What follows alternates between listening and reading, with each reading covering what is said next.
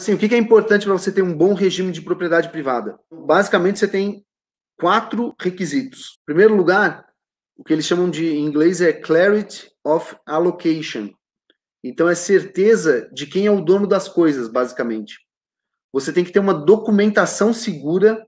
Se você chega a ter dúvida sobre quem é o dono de um bem, por exemplo, imagina aí uma propriedade rural, né? Ninguém sabe onde é que passa ali a onde é que é a, a zona limítrofe entre duas propriedades.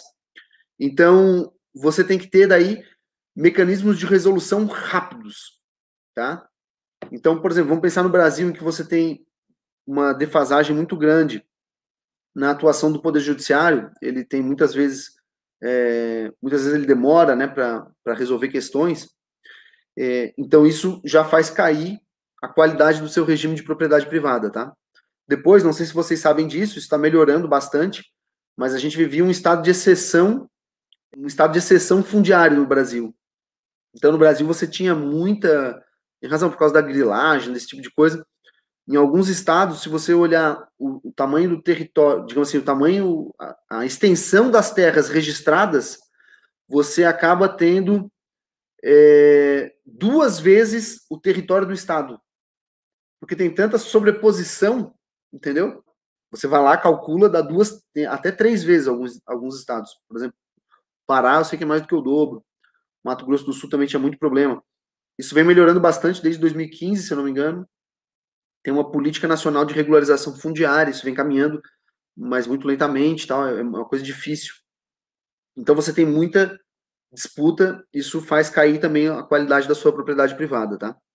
Depois, você tem que ter uma, um bom sistema de uso e disposição. A pessoa tem que conseguir sei lá, você tem que conseguir usufruir da sua propriedade, né?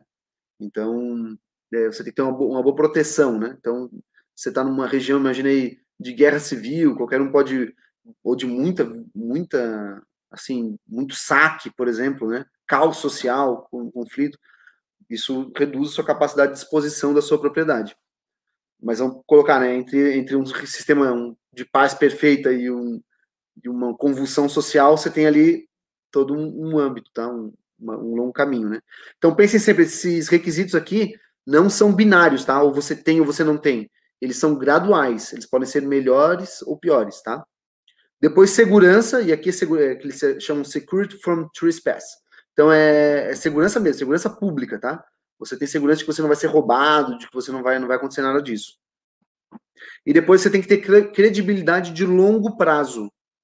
Então, a sua propriedade, você tem que saber que você coloca ela ali e dali a 10 anos você tira a mesma propriedade, tá? Então, você tem que ter. Veja que aqui uma coisa que impacta muito é a estabilidade política de um país.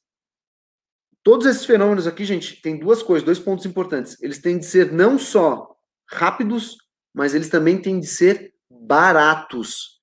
E aí tá um, e aí tá um ponto em que a, um bom então um bom regime de propriedade privada ele garante claridade de alocação, uso e disposição, segurança e credibilidade de longo prazo de modo rápido e barato. E aí está um bom motivo pelo qual um bom regime de propriedade protege os mais pobres. Ele torna a propriedade privada mais acessível. E aí está um ponto em que o Brasil peca muito. Não só o Brasil, tá? A América Latina de modo geral.